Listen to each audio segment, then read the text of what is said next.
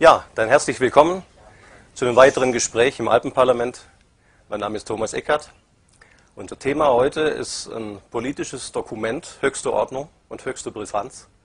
Das gibt es schon seit Jahrzehnten und merkwürdigerweise weiß kein Mensch davon oder fast kein Mensch davon, obwohl sich 27 Kommissionen in der EU damit befassen.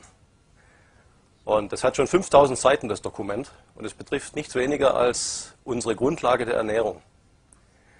Und der Experte für unser Thema heute ist der Dr. Gottfried Lange vom World Institute of Natural Health Science. Habe ich das richtig gesagt? Ja, sehr gut gesagt. Vielleicht übersetzen wir es nochmal kurz, das ist klar. Ja? Das heißt im Prinzip Weltinstitut für natürliche Gesundheitswissenschaften. Das habe ich zusammen mit einigen Wissenschaftlern gegründet, 2005 in Los Angeles als internationale Aktivität, um dem, was wir Ihnen, um das, was wir Ihnen noch genau erklären werden, ähm, Einhalt zu gebieten. Das Dokument, um das heute geht, hat auch einen Namen. Klingt sehr feierlich, Codex Alimentarius. Und äh, Sie sind Arzt, Herr so Dr. Lange. Es, ja. Ja. Und Sie sind spezialisiert auf Ernährung, molekulare Ernährung. Ja. haben sich auch mit anderen Themen befasst. Sie sind Experte, was den Codex Alimentarius angeht und halten auch viele Vorträge im In- und Ausland. Ja. Damit wir die Sache richtig einordnen können, könnten Sie uns vielleicht in aller gebotenen Knappheit einen Überblick geben über die geschichtliche Entwicklung dieses Codex, den es schon seit Jahrzehnten gibt. Ja, äh, vielleicht sollte ich erst mal ganz kurz nochmal definieren, was ist es, um, um, um klarzumachen, äh, womit wir uns hier eigentlich beschäftigen.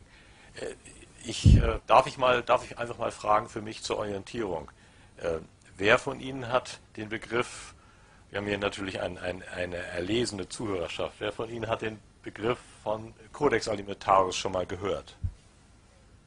Ah ja, Dankeschön, hervorragend, doch die Mehrheit. Es ist immer wichtig zu wissen, wo man da ansetzt.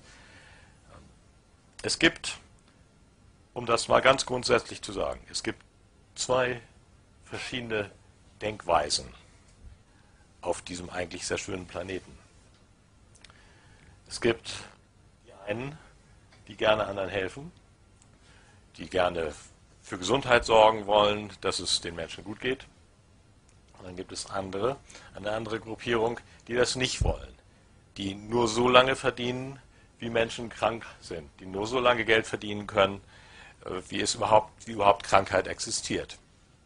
Und die auch künstlich durch die Unterdrückung von vorhandener, richtig und stichfester wissenschaftlicher Information, die diese wissenschaftliche Information um das Geschäft aufrechterhalten zu können. Und das ist im Wesentlichen die internationale Chemie- und Pharmaindustrie. Und auf dem Boden dieser Denkweise wächst das, was Codex Alimentarius heißt. Äh, ganz kurz mal, weil man sich das als mehr positiv denkender Mensch, der Menschen gerne helfen möchte, der möchte gerne, dass Menschen gesund sind, dass wir eine vernünftige Landwirtschaft haben und so weiter, äh, sich immer nicht vorstellen kann.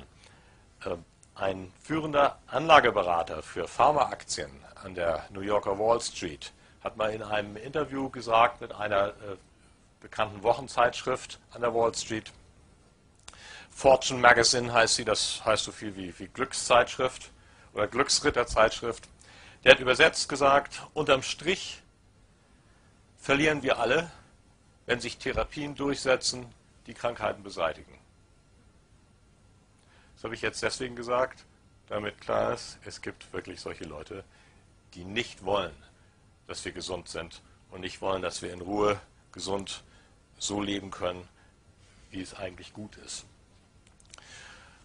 Und äh, nun ist leider in, der, in den letzten Jahrzehnten der Nutzen von guter Ernährung, der Nutzen von sinnvollen natürlichen Vitaminpräparaten und so weiter schon zu bekannt geworden. Es ist schon zu bekannt geworden, dass die Krankheit, an der jeder Zweite stirbt heutzutage in unserer zivilisierten Welt, nämlich Herz-Kreislauf-Krankheiten, Jeder zweite. In Deutschland sind es fast 500.000 Menschen jedes Jahr mit dem langen Leidensweg davor. Dass man das nicht nur heilen, sondern auch verhindern kann durch genügend hohe Dosierungen an natürlichen, nicht patentierbaren Nährstoffen. Da aber Herz-Kreislauf-Krankheiten das größte Geschäft ist für die Chemie- und Pharmaindustrie, sind sie in ihrer Existenz bedroht.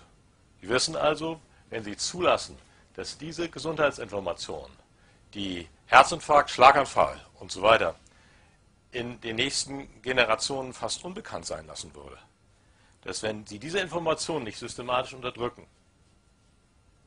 dann existieren sie eines nicht so fernen Tages nicht mehr, die gesamte Pharmaindustrie mit ihren irrsinnigen Umsätzen und Gewinnen. Und aus diesem Grunde hat man von Seiten der Chemie- und Pharmaindustrie etwas ins Leben gerufen, was Codex Alimentarius heißt. Das klingt ja so zunächst ganz vernünftig. Codex Alimentarius, nichts Weltbewegendes, Ernährungsregelwerk. Unter der Schirmherrschaft der Weltgesundheitsorganisation, unter der Schirmherrschaft auch noch der äh, Nahrungsmittel- und Ackerbauorganisation, das ist FAO, FAO, Food and Agriculture Organization. Die macht das mit der Weltgesundheitsorganisation zusammen.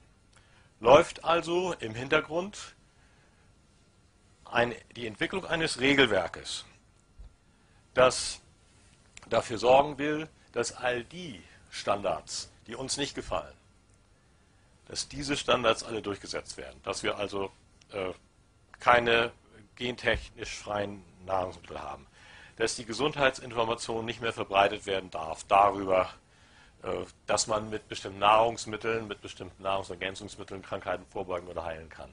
Dass man all diese Sachen nur noch über Pharmapräparate sagen kann. Und daran wird im Hintergrund, wie ähm, Herr Eckert schon sagte, mit einer undurchsichtigen Zahl von 27 Komitees gearbeitet, die sich jedes Jahr einmal treffen. Da gibt es ein Komitee in Bezug auf äh, Vitamine und Mineralstoffpräparate. Es gibt ein Komitee in Bezug auf die Etikettierung von Nahrungsmitteln. Was darf man auf Etiketten schreiben? Oder was soll nicht auf die Etiketten? Nämlich, dass Nahrungsmittel gentechnisch verändert sind. Das soll überhaupt nicht mehr auf die Etiketten. Dass Sie also jetzt hier in der Schweiz oder in Deutschland oder in Österreich nicht mehr unterscheiden können, ist es gentechnisch verändert was drin oder nicht. Und daran wird gearbeitet, international, von verschiedenen Gremien. Und diese Regeln werden schließlich, wenn sie dann endgültig verabschiedet sind, für alle Mitglieder der Welthandelsorganisation, unter anderem auch Deutschland und die Schweiz, bindend sein. Zum Verbraucherschutz selbstverständlich, das haben die sich ganz oben auf die Fahne geschrieben. Verbraucherschutz, wir wollen euch nur schützen, dafür, dass ihr zu viele Vitamine und Mineralstoffe nehmt. Äh, wir wollen, wir sorgen für eure Gesundheit, aber wenn man sich die Sache genau anguckt, ist das reine Fassade. Dahinter werden nur die Geschäftsinteressen der Chemie- und Pharmaindustrie ausschließlich verfolgt. Herr ja, Dr. Lange, Geschichte darf ich zwischenfragen? Ja. ja. Wenn da jetzt so viele Gremien international beteiligt sind, die World Health Organization, die World Trade Organization, wir haben ja auch äh, in der EU ein Gremium, das besteht aus den 45 führenden Industriechefs, die die EU, die Parlamentarier eigentlich dann berät und beeinflusst, dann kann man eigentlich nicht mehr von einem regional begrenzten Dokument sprechen. Es ist kein regional begrenztes Dokument. Und das Ganze hat sich so entwickelt, dass die Demokratien, die einzelnen Nationen auf diese Entwicklung gar keinen Einfluss mehr haben. So selbst, verselbstständigt hat sich das. Und man hat ja dann auch noch zusätzlich, und das muss man unbedingt dazu sagen, 1995 die, Welt, äh, die, die Welthandelsorganisation gegründet. Und wenn man da Mitglied ist, hat man unterschrieben, auch die Schweiz, auch Deutschland, auch Österreich, wenn man da Mitglied ist, hat man unterschrieben, dass man diese Richtlinien schließlich bindend bei sich einführen wird. Will das eine Nation nicht, zahlt sie hohe Geldstrafen. Das kann sich keine Nation leisten. In, in der Höhe von Hunderten von Millionen Schweizer Franken zum Beispiel. Das, das zu dem Thema. Das erinnert mich so ein bisschen an die Mafia- und Schutzgeldzahlungen. Ne? Solange man drin ist, geht es einem gut. Ähm, es ist, ich denke, das ist eine sehr gute Anmerkung, Herr Eckert. Es ist gar, gar kein Unterschied vorhanden. Es ist nichts anderes. Es ist eine internationale Mafia. Wenn man sich sieht, welche, welche Stiftungen auch dahinter stecken, hinter dieser Entwicklung, ja nicht nur solche großen Chemie und Saatgut- und Gentechnikkonzerne wie Monsanto oder Syngenta, sondern auch bestimmte Stiftungen, wie zum Beispiel die Ford Foundation, Ford Stiftung oder die Rockefeller Foundation. Und man muss dazu wissen, dass diese noch andere Zielsetzungen haben. Die haben schon genug Geld. Das ist also nicht mehr deren Zielsetzung. Aber die Philosophie ist, es gibt zu viele Menschen auf diesem Planeten. Und dass hier so viele Menschen auf diesem Planeten sind, äh, das hat verschiedene Nachteile. Und deswegen müssen wir das, wir müssen das Welthungerproblem lösen, das steht ja immer auf den Fahnen drauf, aber für die heißt es Welthungerproblem lösen, die Anzahl von Menschen zu reduzieren auf diesem Planeten. Man muss geschichtlich auch dazu wissen, dass die Rockefeller Stiftung schon in den 30er Jahren die Eugenikforschung unter Hitler äh, wesentlich mitfinanziert hat. Und inzwischen denkt man da auch nicht anders drüber. Da laufen also im Hintergrund Sachen, die so, und das ist wirklich ein Informationsproblem, die so nicht in der Presse stehen. Und wie gesagt, es ist, ist sehr erschreckend. Wir, äh, der Hauptzweck ist natürlich dessen, was wir hier besprechen, nicht, dass wir uns so erschrecken, dass wir dann sagen, es hat sowieso keinen Zweck mehr. Aber man muss es wissen. Wir versuchen hier Informationen fließen zu lassen, die in der Presse nicht stehen, die im Fernsehen nicht kommen, äh, weil da eben alles beschönigt wird. Informationen, die dazu führen kann, wenn Sie es verstehen, dass daraus die richtigen Aktionen entstehen, um dieser Entwicklung Einhalt zu gebieten. Denn sie betrifft die Gesundheit der zukünftigen Generationen auf diesem Planeten. Es ist eine Sache einer Weichenstellung. Wollen wir biologische Landwirtschaft? Wollen wir freie Verfügbarkeit von den Nahrungsmitteln und den Nahrungsergänzungsmitteln, äh, die wir haben wollen? Wollen wir ehrliche Informationen auf den Etiketten haben? Wollen wir gute Sachen auf dem Tisch haben? Wollen wir wissen, was wir auf den Tisch bekommen? Wollen wir gesund bleiben? Oder ist uns das egal? Und wir kämpfen nicht dafür. Das solange wir nichts davon wissen, können wir auch nicht davon kämpfen. Ja, das, das ist, ist eigentlich Sinn von unserem Gespräch das, heute, nicht das wahr? ist Sinn des Gesprächs. Ja. Genau. Ja, ja, ja. Es ist immer erschreckend. Äh, mich erschreckt es selber immer wieder, wenn ich noch weiteren Einblick mir verschaffe in bestimmte Entwicklung. Es, es, ist wirklich erschreckend. Es ist so erschreckend im Grunde, wie wenn man über äh, ein äh, Konzentrationslager sprechen würde. Es ist, ähnliche Gefühle bekommt man dabei, wie Auschwitz oder solche Sachen. Wobei wir dann schon wieder in die Nähe kommen von Ihrer eigentlichen Frage, aber ich musste erstmal etwas weiter ausholen, damit klar ist, was ist das eigentlich überhaupt? Ähm, die geschichtliche Hintergrund, den ich, auf den ich nochmal kurz zurückkommen Ja, möchte. Ja. Wenn Sie das Wort Auschwitz hören, ist die Frage, was denken Sie da?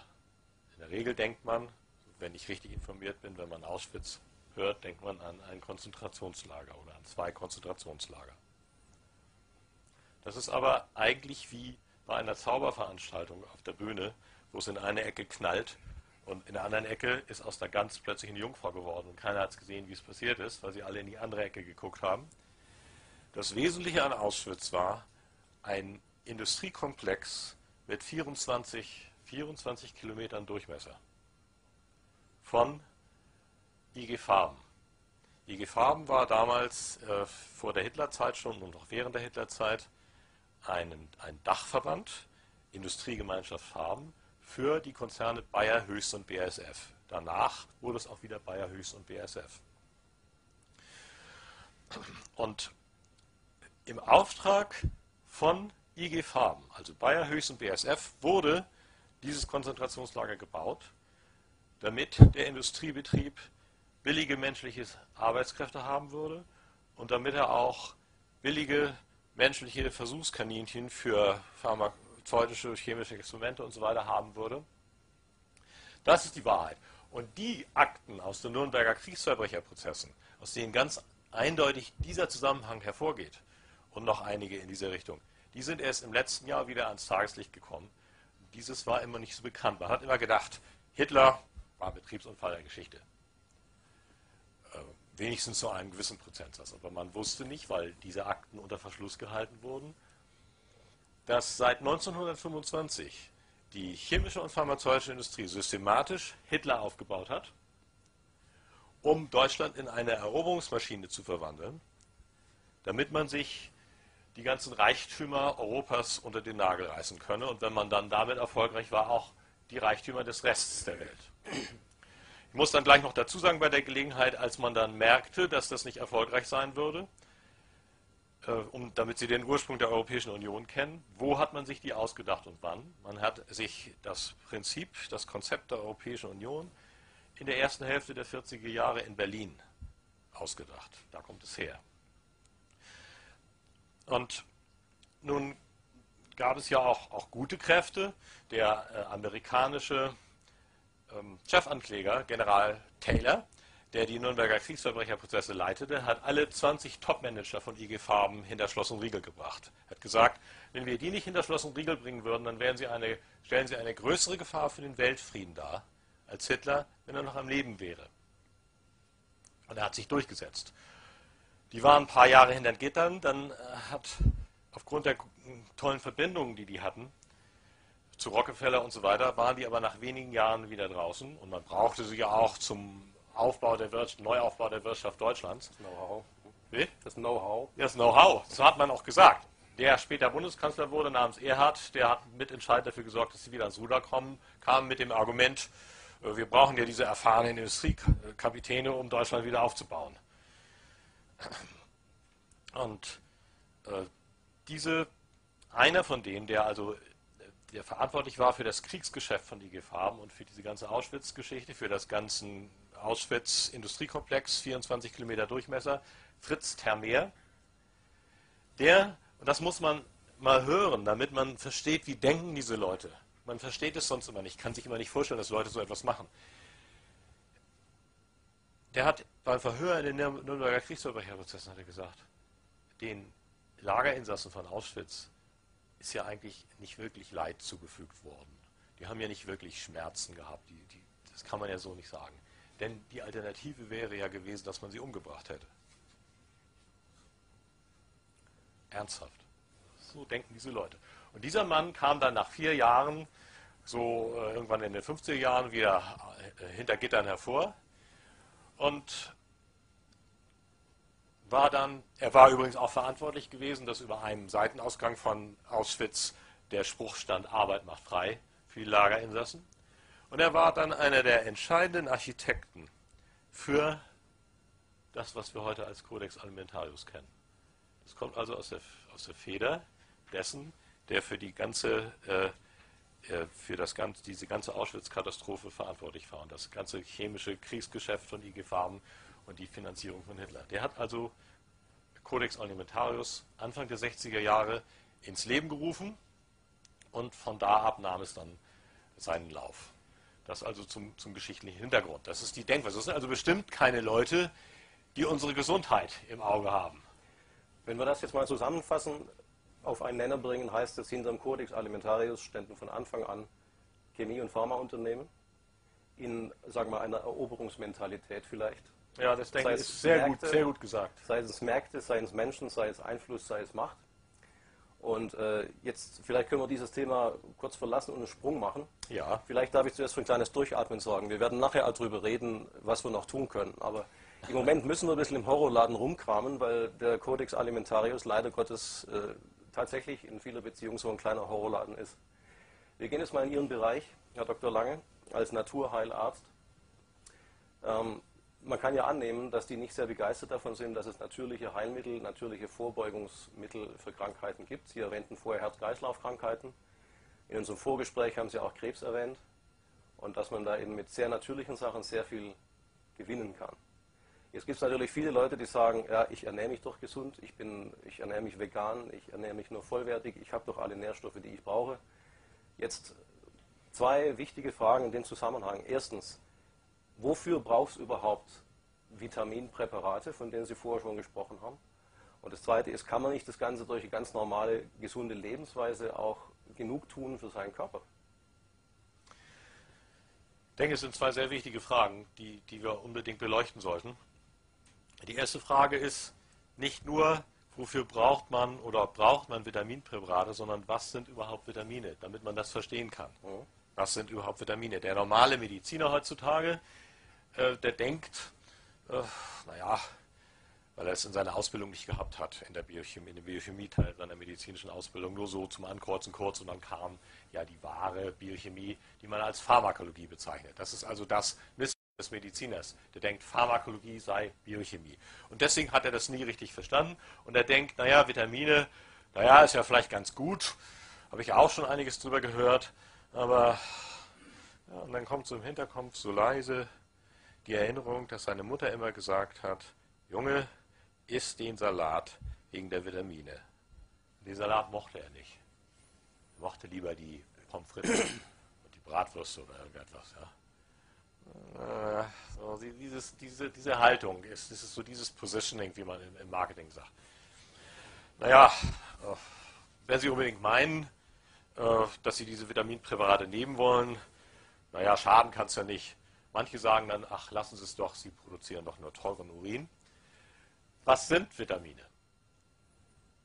Wenn Sie etwas machen wollen, als Handwerker oder in irgendeinem Arbeitsbereich. Dann brauchen Sie dafür Werkzeuge.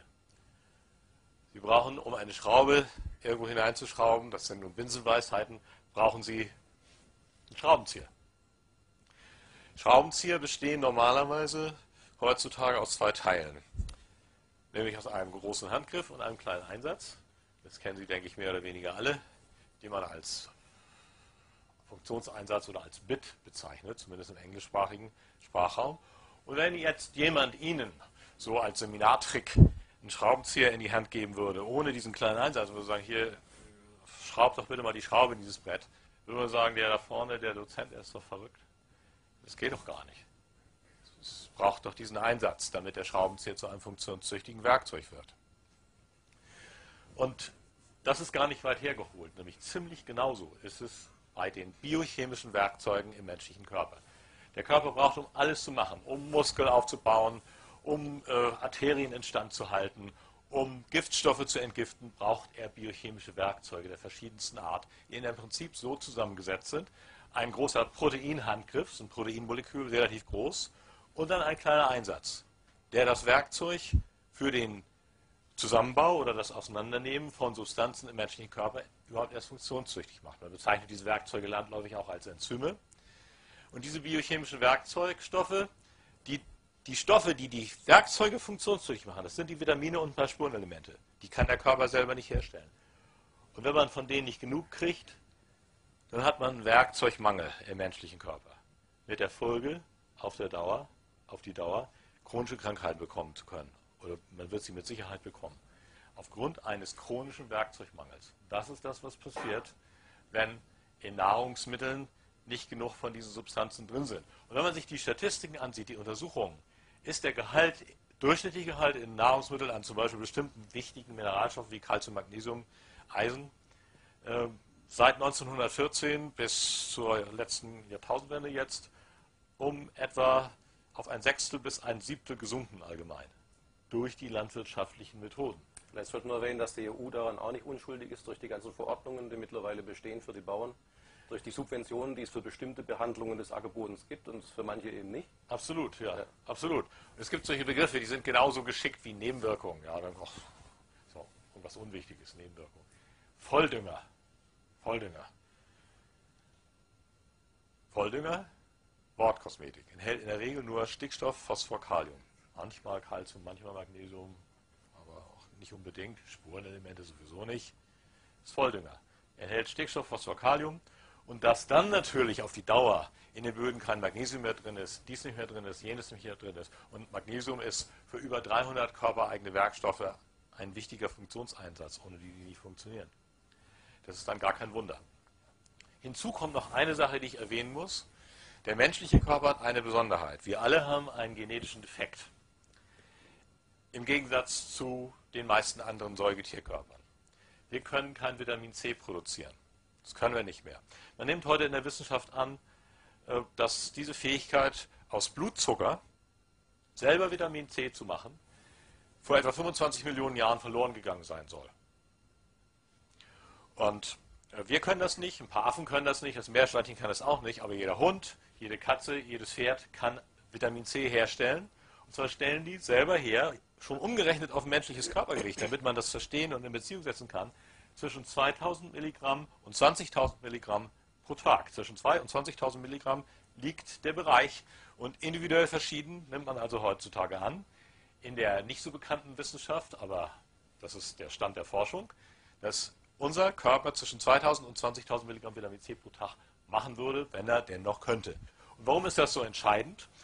Äh, entscheidend ist es deswegen, weil Vitamin C das Instandhaltungswerkzeug ist für Stabilitätsgewebe im menschlichen Körper. 30 Prozent, und das ist kaum bekannt, weil wir so eine Medizin haben, wo die Mediziner ausgebildet werden. Sie gucken nach der Leber, sie gucken nach dem Herzen, sie gucken nach den Gelenken und so weiter, immer nach den Organen, aber nicht äh, nach dem Stabilitätsgewebe. 30 Prozent des Körpers besteht, aus Strukturgewebe, das ihn stabil hält. Die Frage ist im Grunde, warum ist der menschliche Körper kein formloser Zellhaufen hier irgendwo auf dem Tisch? So, hat ja eine Form. Der Kopf, das Herz sitzt am rechten Fleck, rutscht nicht in die Hose, obwohl man das so sagt, in bestimmten äh, Situationen. Äh, man trägt seinen Kopf nicht unterm Arm. Es hat alles, alles Bindegewebe. Und die Arterienwände sind wie Gartenschläuche gebaut. Relativ weiche Substanz, wie das Plastik aus Garten, von Gartenschläuchen, mit eingewobenen Stabilitätsfasern, Nylonfasern, die diese Arterienwände stabil machen, druckstabil machen, sodass äh, das Herz-Kreislauf-System vernünftig funktionieren kann. Und das geht nur, wenn man chronisch im positiven Sinne genügend Vitamin C regelmäßig hat. Dann geht das. Und nur wenn man regelmäßig jeden Tag genug Vitamin C hat, das man leider nicht mehr selber produzieren kann als Mensch, dann gibt es mit Sicherheit keinen Herzinfarkt und keinen Schlaganfall, woran jeder Zweite stirbt. Heutzutage. Das ist, das ist der entscheidende Zusammenhang. Das heißt also, aufgrund dieses Gendefekts muss man das extra zu sich nehmen und aus den normalen Nahrungsmitteln hat man davon nicht mehr genug. Eine Sache muss ich noch, um das noch zu illustrieren, ganz, ganz schnell dazu sagen. Man hat untersucht, Normalerweise so das, was die Leute täglich bekommen aus der üblichen Ernährung, ist 60 Milligramm Vitamin C. Eine Gruppe, eine Studie mit, mit 12.000 Leuten insgesamt. Man hat, die eine Gruppe hatte 60 Milligramm Vitamin C pro Tag, das übliche, was wie gesagt in der Ernährung drin ist. Die anderen nur 300, nicht 3000 oder so etwas, nur 300. Und bereits bei diesem Unterschied zwischen 60 und 300 Milligramm war die Herzinfarkterkrankungsrate bereits halbiert. Das hat also erhebliche praktische Auswirkungen für jeden Einzelnen, für die Gesundheit einer ganzen Nation und auch für die Senkung der immensen Kosten eines Gesundheitssystems. Weil diese wissenschaftlichen Informationen, das ist alles belegt von ehrlichen Wissenschaftlern und Studien, weil das nicht bekannt gemacht wird, weil das unterdrückt wird, zahlen wir uns dumm und dämlich äh, an Krankenkassenbeiträgen und so weiter. Das ist also auch noch ein ganz entscheidender Zusammenhang. Der Kodex will ja jetzt was regeln. Ich muss mal mit einem kleinen Missverständnis vielleicht aufräumen, dem ich vor kurzem auch noch aufgesessen bin. Also der Kodex will nicht die Inhaltsmenge natürlich gewachsener Nahrung begrenzen oder ordnen. Das geht ja überhaupt nicht. Will er nicht kann er auch man kann, nicht. Man kann ja nicht eine Null, Null-Vitamin-Karotte züchten. Ja, das wird wohl kaum gehen. Aber er möchte was regeln und er greift intensiv ein in die Natur- und Kräuterheilkunde. Vielleicht könnten Sie uns darüber was sagen. Es geht ja um Grenzwerte. Es geht ja um, um bestimmte Mengen, die uns zugeführt werden dürfen, noch nach dem Willen der Gesetzgeber, sage ich mal. Und darüber hinaus wird immer von Risiken gesprochen. Man spricht ja immer von Risiken von Vitamintherapie, Risiken von Überdosierung an Vitaminen. Können Sie dazu was sagen? Ja, äh, die eine Seite, wie gesagt, die haben wir eben kurz beleuchtet. Man kann definitiv mit genügend hohen Dosierungen von Vitamin C und noch einigen anderen nicht patentierbaren Natursubstanzen Herzinfarkt, Schlaganfall vorbeugen oder heilen. Man kann mit diesen Substanzen und noch ein paar Aminosäuren, kann man auch ähm, Krebsmetastasierung stoppen und 90 Prozent der Krebspatienten sterben an Metastasierung. Das kann man machen mit Kombinationen aus bestimmten Vitaminen und Aminosäuren. Das ist also von erheblicher Bedeutung. Und um das Ganze zu verstehen, alles, alles, was die zukünftigen Geschäfte die zukünftigen Profite der Chemie- und Pharmaindustrie in irgendeiner Weise vermindern könnte, wird bekämpft. Und alles, was die Geschäfte blühen lassen wird, wird gefördert. Und man setzt deswegen zum Verbraucherschutz natürlich falsche Informationen in Umlauf. Man sagt, das haben Sie sicherlich auch schon mal gelesen, obwohl hier natürlich eine erlesene Zuhörerschaft ist und Sie vieles, vieles ja wissen, denke ich. Aber man sagt, und das liest man immer wieder, zu viel Vitamine sind gefährlich. Plötzlich kommt eine Studie, die kommt in Umlauf, da steht dann drin, ja, wir haben also festgestellt, dass wenn man mehr Vitamin E nimmt, dann, stirbt, dann sterben mehr Leute. Also wenn Leute mehr Vitamin E nehmen, dann sterben von der Gruppe, die mehr Vitamin E genommen haben, sterben mehr. Das ist eine gefälschte Studie oder eine gefälschte Auswertung. Wenn man das genau zurückverfolgt, das stimmt einfach nicht. Und ein Kollege hat mir mal den Begriff des Mietmauls näher gebracht vor vielen Jahren. Mietmaul ist also ein Maul, das man mieten kann. Das ist ein Professor, es gibt da genügend, die gegen Geld und andere Vorteile alles verdrehen, sodass es dann als wissenschaftliche Tatsache dazustehen scheint. Und man will zu ihrem Schutz, zu unserem Schutz, zum Schutz des Verbrauchers, will man Höchstwerte festsetzen. Das ist also ein wesentlicher Teil der Tätigkeit eines Komitees von den 27 Codex Alimentarius Komitees. 27 Komitees, damit das alles schön überschaubar ist natürlich ähm, und immer Schritt für Schritt, dass man das auch nicht merkt.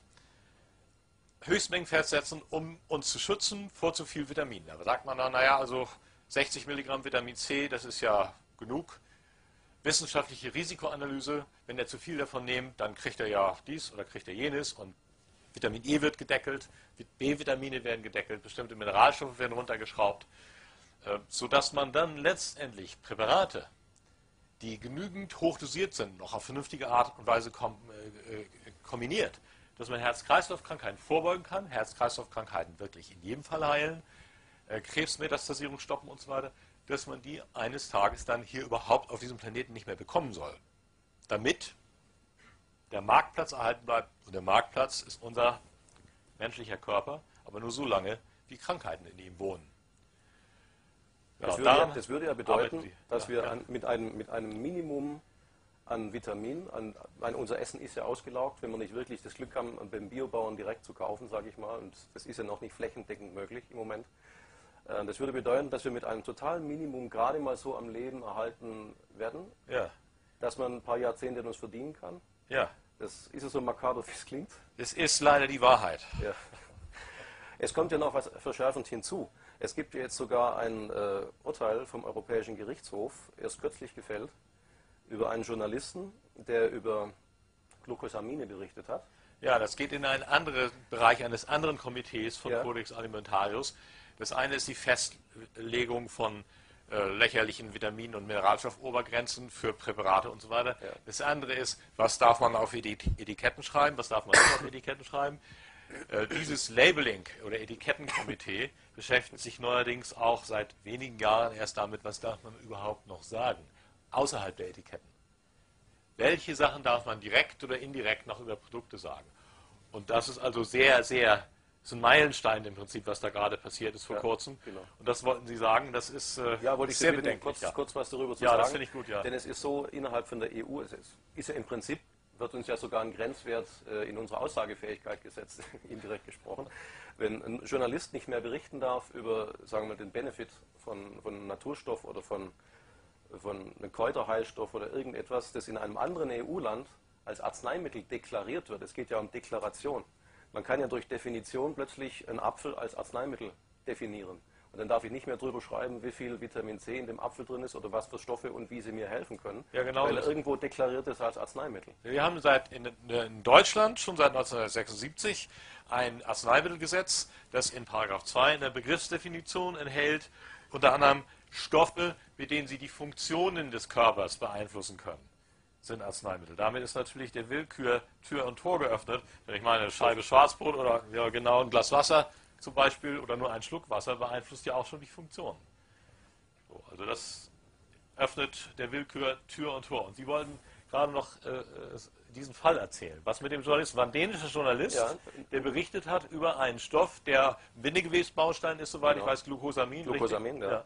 Und der wurde verurteilt zu einer Geldstrafe von 1500 Euro weil in Dänemark Glucosamin als Drug, also als Arzneimittel deklariert ist. Und darüber darf er nichts mehr schreiben. Ja. Das ist ein gültiges Urteil von EU, ähm, vom Gericht. Ist es, ist es ein Arzneimittel tatsächlich oder ist es ein Nicht-Arzneimittel und deswegen darf man das nicht machen? Ich, soweit ich weiß, ist nämlich, äh, ich frage jetzt deswegen, soweit ich weiß, ist es nämlich so, dass die, die Pharmaindustrie dafür sorgt, mit allen Mitteln, die schießt aus allen Rohren, dass nur noch über Arzneimittel Heilaussagen, Vorbeugungsaussagen und so weiter gemacht werden dürfen. Also ich vermute fast, dass ähm, gesagt wird, es ist kein Arzneimittel, vermute ich eher, es ist ja ein Bin Stoff. Ich jetzt überfragt, ist überfragt, ja, aber ich vermute, dass es, dass es so. Aber ich meine, wie dem auch sei, Ja. ist gar nicht so wichtig. Entscheidend ist, dass jemand, der über die Gesundheitswirkung, nachgewiesene Gesundheitswirkung eines Naturstoffes Ja. berichtet äh, und auch erwähnt hat, in Form welcher Produkte man das bekommen kann, das nützt einem die Information auch nichts, man muss es ja anwenden können, äh, dass der zu einer Geldstrafe verurteilt worden ist, weil er darüber nicht hätte schreiben dürfen. Das ist, das ist der Punkt, um den es geht. Ja. Ja. Soweit sind wir mittlerweile und das geht auch Hand in Hand eben mit dieser Kodex-Geschichte. Ja. Ja, Betrifft die Grundrechte des Menschen. es betrifft die ja. Grundrechte. Die Grundrechte der Ernährung ja sowieso, die Ja. Grundrechte dessen, was ich mir aussuche, was ich mir einwerfe, ob ich eine Vitaminpille nehme oder nicht und wie viel davon. Das wird ja alles streng reglementiert. Und natürlich auch äh, die freie Meinungsäußerung. Ja. Gut, also ich denke, zu dem Thema haben wir jetzt einiges gesagt. Ja. Wir können einen Schritt weiter gehen, denn auch Vitamine müssen ja irgendwo herkommen, auch in der natürlichen Ernährung.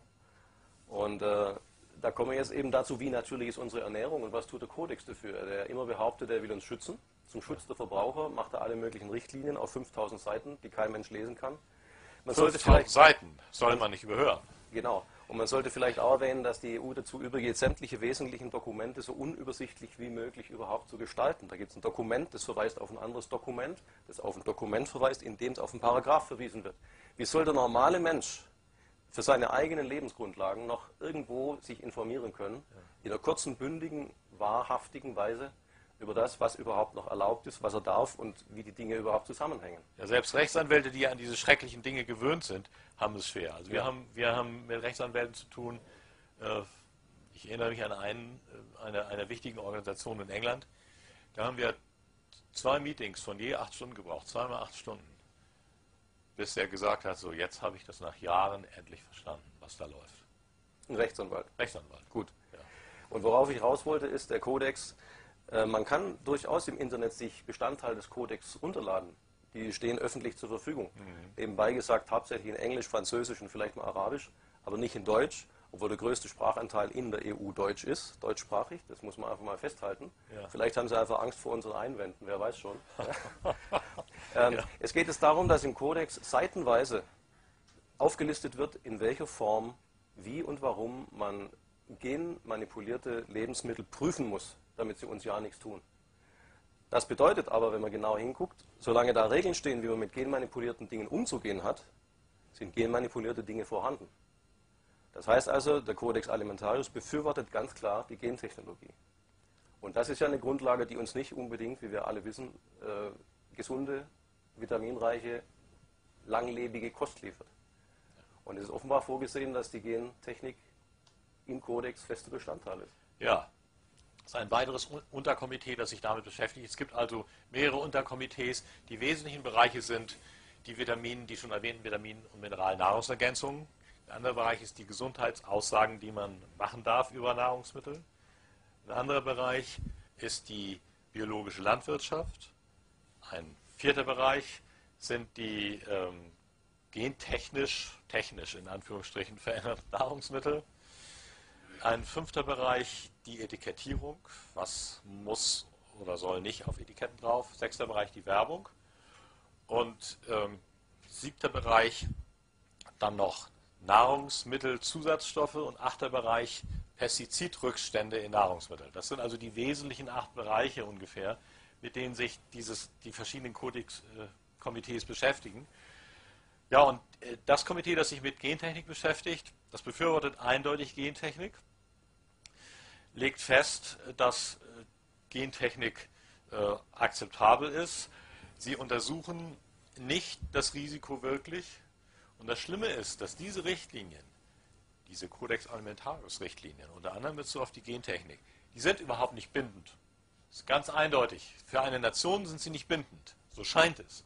Aber da jedes Mitglied der Welthandelsorganisation gleichzeitig noch ein anderes Vertrag unterschrieben hat, der als SPS, Siegfried Paula Siegfried, ähm, Abkürzung für englische längere Wörter, Vertrag unterschrieben hat, ist durch die Hintertür seit 1995 die Kodex-Richtlinien doch bindend. Das bedeutet für äh, eine Nation, wie zum Beispiel die Schweiz, die auch Mitglied der Weltgesundheitsorganisation ist, sie muss es akzeptieren, unter Androhung hoher Geldstrafe schließlich, frei importiert werden, gentechnisch veränderte Nahrungsmittel. Ähm, und das, sie muss auch akzeptieren, wenn es eine internationale Regelung ist, dass das nicht auf dem Etikett draufsteht, dass das bei Ihnen in der Schweiz auch so ist oder in Deutschland und so weiter. Und das ist eben das Erschreckende, dass solange eine Nation Mitglied ist in der Welthandelsorganisation, die schon von kompetenten Leuten als die Weltpolizei bezeichnet wurde, so nach dem Muster der Europäischen Union läuft das in der Welthandelsorganisation. Solange man da Mitglied ist, man gezwungen werden kann und durch sehr, sehr, hohe, sehr hohe Geldstrafen äh, sich an diese Regeln zu halten. Das ist das Problem. Also ein Ausweg wäre, wie realistisch auch immer der wäre, ist, aus der Welthandelsorganisation dafür zu sorgen, dass ein Land aus der Welthandelsorganisation austritt. Es hat natürlich nur Vorteile, in der Welthandelsorganisation zu sein, das ist klar, äh, wird den Nationen und den Regierungen gesagt, aber das stimmt nicht. So, also das, das, das, das zur Gentechnik. Man kann dann weder unterscheiden, was kommt auf den Teller, noch kann man sich es selbst als Nation aussuchen, weil das an der Kontrolle eine, eines Parlaments, einer Demokratie vorbeigeht. Durch internationale Organisationen wie die Codex-Organisation, die Weltgesundheitsorganisation und die Welthandelsorganisation. Das ist das Problem. Es ist wie eine Weltdiktatur, die durch die Hintertür eingerichtet wird. Und wir sehen hier ja einen weiteren Mechanismus, es ist ja so raffiniert gemacht, dass irgendwie wieder keiner verantwortlich ist. Die Codex-Leute sagen, wir sprechen hier nur Empfehlungen aus, die sind ja nicht verbindlich. Und die Regierungen sagen, ja, wir können ja nichts den Kodex, aber wir haben halt zugestimmt, weil es alle tun und weil es gut ist. Und keiner ist wirklich verantwortlich. Also man findet nie irgendeinen, wo man sagen kann, Junge, du hast das entworfen, du bist verantwortlich, krieg das wieder in Ordnung. Es verteilt sich auf so viele Köpfe und unter so vielen Schreibtischen, in so vielen Ecken, dass man überhaupt niemanden zu greifen kriegt. Ja. Und dann haben wir den Expertenwahn. Ich meine, Experte ist ja ein inflationäres Wort. Ja, ja, absolut. Das ist ein Interessenvertreter jeglicher Couleur. Aber es gibt ja, ja Experten, die, die auch verstehen. Mich haben Sie das ja am Anfang gesagt, ne? wer weiß. Ne? Das war aber ja. echt gemeint. ja, nein, es gibt, es gibt Experten und Experten. Ne? Und dann stellt sich ein Experte hin und sagt, gut, wir nehmen den Kodex ernst, wir analysieren jetzt die Gensachen, passen auf, dass Ihnen nichts passiert, wenn Sie das essen. Und das dürfen wir auf keinen Fall tun, das ist schädlich. Das dürfen wir auch nicht tun, das ist schädlich. Aber das dürfen wir natürlich tun, das ist unschädlich. Also wenn ein Experte sich hinstellt und sagt, die zwei Möglichkeiten sind nicht gut für Sie, sagt er gleichzeitig, die dritte Möglichkeit ist aber gut für Sie. Ja. Ja? Also wenn er das gut macht, dann öffnen sich praktisch alle Türen, wo äh, die Organisationen durchgehen wollen. Sehen Sie das auch so? Ja, ja, absolut, absolut. Und es gibt so gut wie keine unabhängigen wissenschaftlichen Untersuchungen über die Auswirkungen gentechnisch veränderter Nahrungsmittel. Das muss man auch noch dazu sagen. Und dann hat es in, äh, in der zweiten Hälfte der 90er Jahre einen äh, englischen Wissenschaftler in Schottland gegeben, in einem Institut, einem gentechnischen Forschungsinstitut, der hatte sich schon drei Jahr, über drei Jahrzehnte mit dem Thema beschäftigt. Äh, ein sehr international anerkannter Wissenschaftler, weil er viele wirklich gute, saubere wissenschaftliche Arbeiten über diesen Bereich veröffentlicht hatte. Und der forschte da nun fröhlich äh, mit Regierungs-, englischer Regierungsunterstützung vor sich hin, um festzustellen, das nahm er auch an, dass er zu diesem Ergebnis kommen würde, dass das ja nun alles kein Problem sei. Er hat dann aber in Experimenten mit Ratten unter anderem Folgendes festgestellt. Die, ähm, die ähm, Ratten, die mit gentechnischen veränderten Kartoffeln von der Firma Monsanto gefüttert worden waren oder gefüttert wurden, die waren kleiner, leichter, die hatten ein heruntergefahrenes Immunsystem, die Immunleistungen waren schlechter, die hatten verkleinerte Lebern, verkleinerte Herzen und deutlich kleinere Gehirne, als sie nicht mit den gentechnisch veränderten äh, Kartoffeln gefüttert worden waren. Und er ist dann mit Einverständnis, das ist nämlich eine ganz interessante Geschichte, damit man mal weiß, wie solche Sachen international laufen. Der kurze Dienstweg. Ist dann mit Einverständnis seines Institutsleiters, der hat ihm gesagt, ja, man muss ja das mit den Gehirnen nicht gerade sagen, äh, ist ans Fernsehen gegangen, hat, hat eine Fernsehsendung gemacht, in einem Fernsehsendung, der also eine Millionenverbreitung hat in, in England. Der hat gesagt, also mit den Gehirnen, das muss ja nicht sagen, und also ein bisschen. Aber ansonsten im Prinzip war der Institutsleiter damit einverstanden, dass dieser Wissenschaftler die Sendung machte. Und er hat dann da auch ganz klar einige Sachen gesagt, immer noch deutlich genug, dass es einen großen Aufruhr gab. Äh, und er hat auch ganz deutlich gesagt, er selber würde solche Nahrungsmittel nicht essen. 48 Stunden später war sein Job los. Und seine Lebensgefährtin, auch eine sehr anerkannte Wissenschaftler, die schon, äh, Wissenschaftlerin, die schon 13 Jahre an dem Institut war, ebenfalls. Er musste alle seine Unterlagen abgeben, begeben, bekam Kommunikationsverbot mit seinen Kollegen und durfte, sollte nicht mehr über dieses Thema sprechen dürfen und so weiter. Und äh, es hat ihn dann später insgesamt fünf Jahre gekostet und einen Herzinfarkt, also mindestens einen, um herauszufinden, dann, was da gelaufen war. Bei seinem Institutsleiter hatte Tony Blair, der englische Premierminister, angerufen. Und der Institutsleiter hat dann Angst bekommen, dass es noch schlimmer kommen könnte, wenn er den, seinen Wissenschaftler da jetzt nicht rausschmeißt, äh, weil dann Regierungsgelder gestrichen werden könnten und vielleicht seine Stellung gefährdet sein könnte und so weiter. Also hat er, ist er in die Knie gegangen und hat das gemacht, was Tony Blair gesagt hat. Von wem aber hatte Tony Blair einen Anruf bekommen? Von Bill Clinton. Und wie man dann am Ende auch noch herausfand, von wem hatte Bill Clinton einen Anruf bekommen? Von Monsanto. Und das lief innerhalb von 48 Stunden, lief die Telefonkette durch. Sodass das Spiel, das gespielt wird. Wir sehen, wie tief wir drinstecken.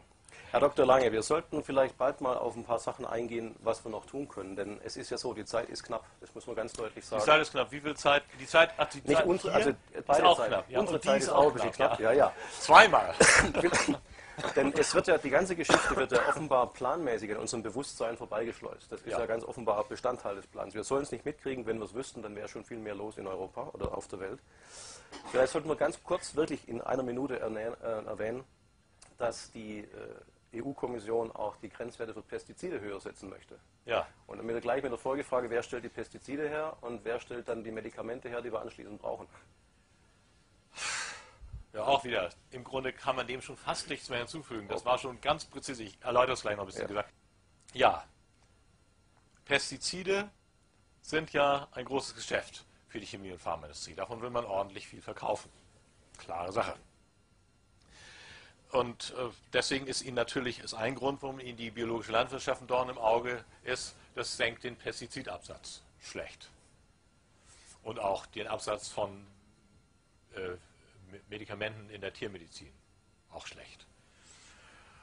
Und zu niedrige Rückstandswerte sind auch schlecht. Das senkt auch den Pestizidabsatz.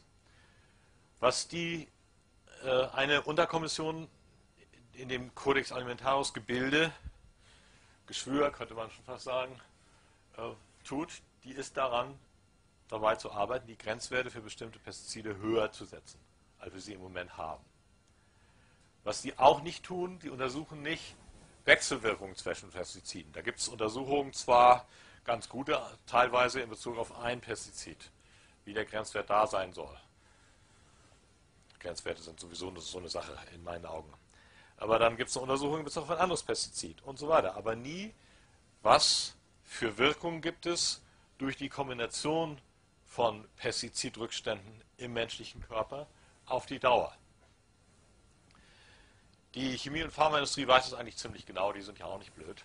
Und auf jeden Fall sind sie sich auch über eins im Klaren, das wird letztendlich die Anzahl der Kunden, der Abnehmer für Arzneimittel, die Anzahl der Patienten erhöhen, weil diese Rückstände Krankheiten erzeugen. Das ist also ein entscheidender Zusammenhang. Also gleich in mehreren Beziehungen äh, steht wieder die Pharma- und Chemieindustrie gut da, wenn man nur die Pestizidgrenzwerte hochsetzt. In mehrfacher Hinsicht wird dadurch das Geschäft gefördert. Es ist immer so, die, die arbeiten ja Hand in Hand. Die Lebensmittelindustrie, die großen Lebensmittelindustriebetriebe, die Biotechnikkonzerne äh, und die Chemie- und Pharmaindustrie. Das ist teilweise sowieso alles in einer Hand. Aber das sind die Nutznießer dieses ganzen Programmes. Beim Stichwort Grenzwerte fiel mir gerade äh, persönliche Erfahrung ein. Bei uns, wo ich arbeite, wurden DECT-Telefone für die Mitarbeiter eingeführt, für die technischen Mitarbeiter. Und ich bin damals Sturm gelaufen wegen Strahlenbelastung und sowas. Und neben mir saß in der Diskussion der hessische Strahlenschutzbeauftragte. Da ging es um Grenzwerte. Und der sagte mir, wissen Sie, Herr Eckert, Grenzwerte werden ausgehandelt wie Lohnerhöhungen. Stimmt. Kann man so stehen lassen. Kann man absolut stehen lassen. Und äh, ja, auch im, im Bereich der Grenzwerte von irgendwelchen Pestiziden im Wasser Ja. äh, muss man noch da, da, dazu sagen, äh, wenn Sie so einen Grenzwert haben von zum Beispiel einem Mikrogramm, das ist also ein Tausendstel Gramm einer Substanz. Äh, Million, äh, Milligramm, Tausendstel, Mikrogramm, Millionstel Gramm, Millionstel Gramm einer Substanz. Scheint ja nicht so viel zu sein. Aber ein Millionstel Gramm einer Substanz sind immerhin noch etwa eine Billion Moleküle. Eine Billiarde Moleküle sogar. Rechenfehler. Eine Billiarde Moleküle, ein Mikrogramm einer Substanz. Und jeder, der sich näher mit dem Thema beschäftigt hat, auch zum Beispiel mit der Homöopathie, äh, unter anderem weiß, dass man sogar mit wenigen Molekülen oder überhaupt nur einer Substanzinformation eine erhebliche Wirkung erzielen kann. Also, wenn dann der Grenzwert von ein Millionstel Gramm unterschritten wird, kann man offiziell behaupten, diese Substanz ist nicht in dem Trinkwasser enthalten, aber es sind immer noch fast eine Billiarde Moleküle dieser Substanz. Genau. Das Stichwort, Information, das Stichwort ja? Information ist ja auch ganz entscheidend. Ne? Ja. Wenn äh, wir sind uns all dessen bewusst, dass mit der Nahrung nicht bloß die physische gemeint ist, dass sagen wir, das, das seelische Haushalt eines Menschen, die Gedanken, Gefühle, mit denen man ist, mit denen man lebt, entscheidenden Einfluss auf die Gesundheit Absolut, hat. Ja. Nur wir konzentrieren uns jetzt hier halt auf die physischen Zusammenhänge des Kodex, deswegen können wir da nicht näher drauf eingehen. Ja, das ist dann wieder ein anderes, wenn auch sehr wichtiges Thema, aber können wir jetzt hier können nicht klar. Ja. Gut, letzte Frage, was können wir tun? Wir haben gesehen, kaum jemand weiß von diesem Dokument. Ein Zuschauer ausgeschlossen. Es werden immer mehr, die davon wissen. Glücklicherweise verbreitet sich Aber was haben wir eigentlich für Möglichkeiten in der Hand? Wir haben im, im Prinzip, es kommt immer nur auf die eigene Denkweise an, meines Erachtens eigentlich jede Möglichkeit in der Hand. Das Schlimmste ist, dass wenn man denkt, und nun spreche ich jetzt so, renne ich ja hier auf der Türen ein, äh, wenn man denkt, man kann sowieso nichts machen. Man ist ja nur so ein kleines Licht. So, auf dieser Voraussetzung. Ich selber habe, das ist eine Sache, ähm, das sage sag ich gleich noch. Erstmal vorweg, was man machen kann. Man muss die Information verbreiten. Es ist viel zu wenig bekannt. Die meisten Menschen wissen überhaupt nicht darüber Bescheid, was da im Hintergrund läuft. Sollen auch nicht. Man soll es gar nicht wissen, damit man es vielleicht dann erfährt oder selbst dann noch nicht mal, wenn es zu spät ist. Das heißt also, diese Information verbreiten an Mitmenschen. Ich kann gerne entsprechende Materialien, die geeignet sind, zur Verfügung stellen, aus denen man sich dann selber was zusammenstellen kann. Dann Druck mit den entsprechenden Informationen auf Politiker auszuüben, bevor man das tut, sie aber erstmal zu informieren. Selbst die meisten Politiker haben überhaupt keine Ahnung, was da gespielt wird. Das wissen die einfach nicht. Die verstehen das überhaupt nicht, was da läuft. Das machen diese Experten von Codex Alimentarius, die machen das schon richtig, ist ja für den Verbraucherschutz. Wunderbar. So, also das. Nicht nur Mitmenschen informieren, Politiker informieren, Politiker auch entsprechend unter Druck setzen, dass die was tun. Je mehr Leute das tun, desto eher bewegen die sich, weil die Angst haben, nicht wiedergewählt zu werden. Vielleicht in dem Zusammenhang, wir sollten auch in unsere eigenen Abgeordneten rangehen, also die vom eigenen Wahlkreis. Was glauben Sie, wie viele Briefe und Petitionen die Merkel jeden Tag kriegt? Ich meine, egal, was man über sie denkt oder über unseren Regierungsapparat. Ja. Aber es ist für einen Menschen unmöglich, sich mit jedem einzelnen Brief zu beschäftigen, mit jeder Petition, die da ankommt. Ja. Aber die Abgeordneten aus den eigenen Wahlkreisen, sage ich mal, die wissen mit Sicherheit auch ganz oft überhaupt noch nicht Bescheid über das, was da wirklich läuft. So wurde ja der U-Vertrag unterschrieben. Die haben ja. sie alle nicht gelesen, die wussten ja gar nicht, was drinsteht. Die wussten gar nicht, was drinsteht, ja. ja. Und äh, die wissen oft gar nicht, was sie eigentlich verabschieden mit ihrem Handzeichen im Bundestag. Sie ja. sagen halt, ja, Fraktionszwang, jemand hat ihnen gesagt, mach das, das ist gut. Ja, das sonst bist du nicht mehr auf der Und Liste. wenn der das sagt, dann stimmt das auch. Genau. Ja. Und deswegen ist es entscheidend, dass wir da Kontakt aufnehmen.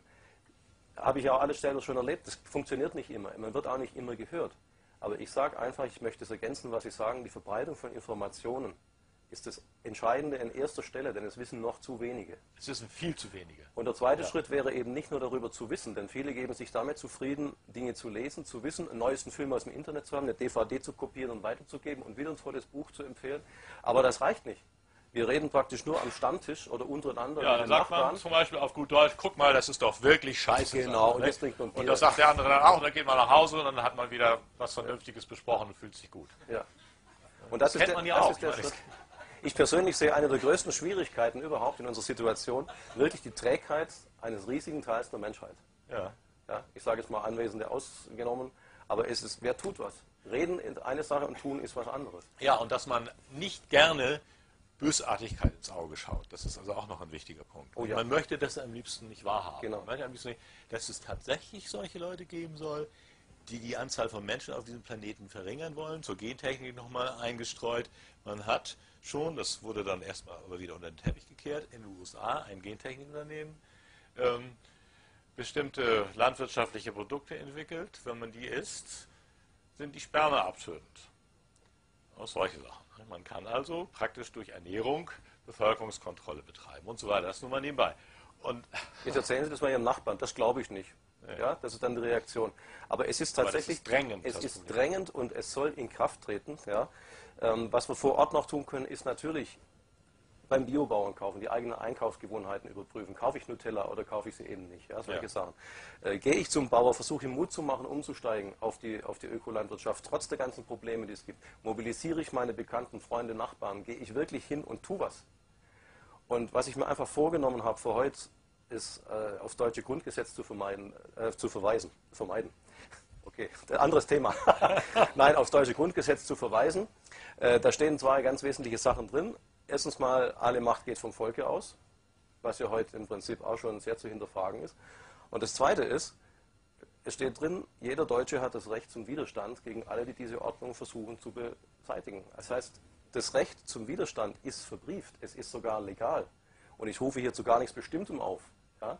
Aber es ist so, dass wir das Recht zum Widerstand haben an, gegen alle, die versuchen, uns die Lebensgrundlage, die Grundlagen eines guten, geregelten, natürlichen Lebens zu entziehen, haben. Wir haben das Recht. Ich möchte es einfach erwähnen, denn es ist Zeit, dass wir das Recht nutzen. Ja, ja absolut. Ja, und man kann natürlich auch selber Nahrung anbauen. Ne? Das geht eventuell das geht auch, auch, wenn man sich ein bisschen reinhängt. Und darüber hinaus eben, ähm, denke ich, muss man etwas tun, um diese internationalen Entwicklungen aufzuhalten, daran zu arbeiten. Das klingt bisschen wie David gegen Goliath vielleicht.